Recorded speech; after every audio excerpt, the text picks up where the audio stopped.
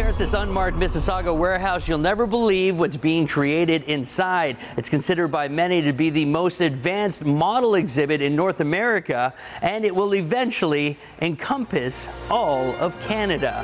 Welcome to our home in miniature land. This was inspired by a visit to Miniatur Wunderland in Hamburg. It's the number one thing to do in all of Germany on TripAdvisor. In all of Germany? In all of Germany, over 70,000 square feet, and it had 1.4 million visitors last year.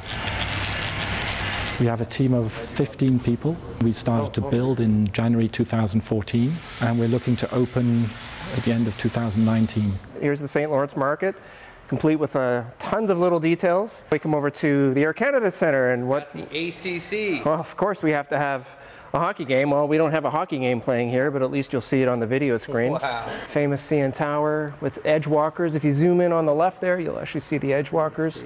There they are. Edge walkers. The scale here is called HO scale.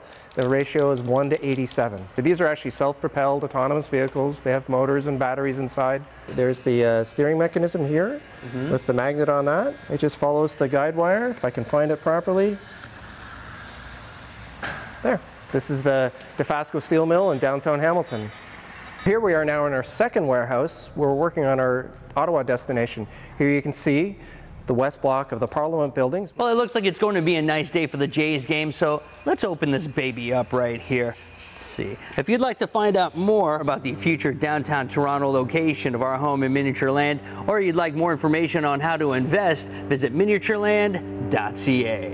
I'm Darrin Maharaj for Zoomer News.